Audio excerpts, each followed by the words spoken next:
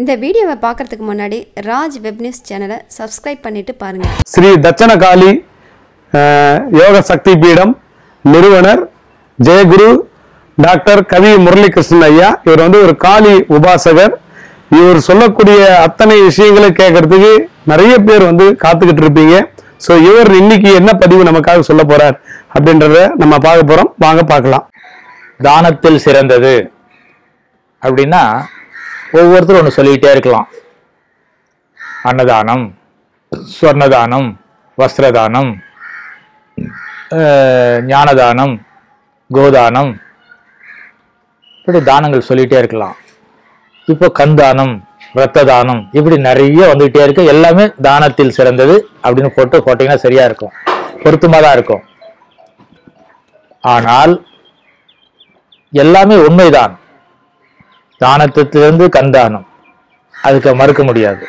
தானத்தில் சிறந்தது இரத்த தானம். மறுக்க முடியாது. தானத்தில் சிறந்தது கோதானம். மறுக்க முடியாது. தானத்தில் சிறந்தது அன்னதானம். மறுக்க முடியாது. தானத்தில் சிறந்தது ஸ்வர்ணதானம். மறுக்க முடியாது.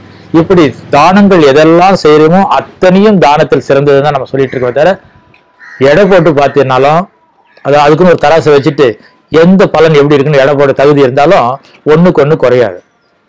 நிச்சயமாகவே ஒன்றுக்கு ஒன்று நிகராக தான் இருக்கும். சொன்னதானம் பண்ணுறதும் உயர்வாக தான் இருப்பான். அன்னதானம் பண்ணாலும் ஆனால் எந்தெந்த தானம் எதெதற்கு செய்தால் நல்லது? இதுதான் பிரச்சனை. நம்மளுடைய கேள்வி என்னன்னா எதற்கான தானம் எதை செய்தால் நல்லது? அப்படின்னு தெரிஞ்சு செஞ்சோம்னா அந்த பலன் நமக்கு கிடைக்கும். எப்படி? உதாரணத்துக்கு அன்னதானம் எடுத்துக்குவோம்.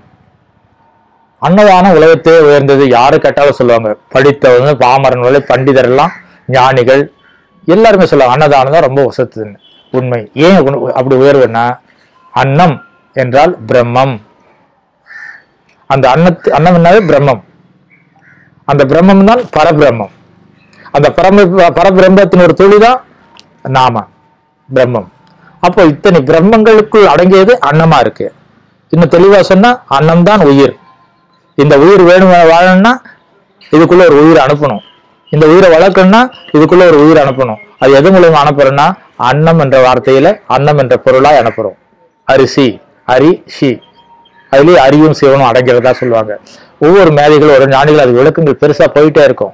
இப்போ நம்ம அதுக்கு போவாது அந்த அன்னதானம் அன்னம்தான் பிரம்மம் அன்னமே உயிர். நாம் உயிர் வளர்க்க வா- வாழணும் உயிர் வளர் நம்ம உயிர் இன்னும் கொஞ்சம் வளர்க்கணும்னா நமக்கு இந்த உயிர் நிலைக்கணும்னா இந்த உடல் இருக்கணும். இந்த உடல் உற்சாகமா ஓடியாடுனா அந்த அன்னத்தில் இருக்கிற அந்த பிரம்மத்துடைய சக்தி நமக்கு வந்தால்தான் நம்ம எழுந்து நடக்க முடியும். நாலு நாள் சா- சாப்பிடாது இருங்க நடக்க முடியாது. ஆனால் அன்னம்ன்றது உயிரையும் வளர்க்கக்கூடியது உடலையும் வளர்க்கக்கூடியது. இந்த அன்னத்தால் தூய அன்னத்தால் சமர்ப்பி தெய்வத்துக்கு சமர்ப்பிக்கப்பட்ட பிரசாத அன்னத்தால் நமக்கு தெய்வ பலங்களும் புலன்கள் கூட நல்லா வேலை செய்யும். தெளிவாக இருக்கும். தூய அன்னத்தை நம்ம தெய்வத்துக்கு படைத்து சாப்பிடும்போது அது நம்ம மூலியை கூட ச- சுத்தப்படுத்துது. நம்ம உடம்பை சுத்தப்படுத்துது. நம்ம இதயத்தை சு சுத்தப்படுத்துது. நம்ம தெளிவாக நினைக்கிற மனசை சுத்தப்படுது. மனம் ச- தெளிவாக இருந்தால் எண்ணம் சரியாக இருக்கும். எண்ணம் சரியாக இருந்தால் வார்த்தைகள் சொல் சரியாக இருக்கும். சொல் சரியாக இருந்தால் நம்ம செய்யக்கூடிய செயல்கள் சரியாக இருக்கும். நம்ம செயல்கள் சரியாக இருந்தால் வாழ்க்கை வெற்றியாக இருக்கும். அதற்கு மூல ஆதாரம் நம்ம உடல். உடல்ல இருக்கிற உயிர். அந்த உயிரை வளர்க்கறதுக்கு அன்னம் அப்படி அன்னமே பிரம்மமா இருக்கிறதால அந்த அன்னதானம் செய்தால் உயிர்களை வளர்த்த விஷயம். நீயே ஆண்டவனா மாறிடுற பாருங்க. நம்ம உயிர் ஆண்டவன் தான் வளர்த்துன்னு இருக்கான். ஆனா அன்னத்தை கொடுத்ததால் நீ அன்னதா அன்னதான பிரபு ஆயிடுற ஐயால் அன்னதானம்ன்றது ரொம்ப முக்கியம். அவங்களால முடிஞ்சதை செய்யலாம். ஒரு வசதி இருக்கும் ஒரு கோடி பேர் கொடுக்குறான்னா வசதி இல்லாத ஒருத்தனுக்கு கொடுக்கட்டும் பரவாயில்ல. தனக்கு இருக்கிற சாப்பாடு தான் இருக்கு அப்படின்னா அதை பாதி ஒருத்தர் தர்மம் பண்ணுங்க.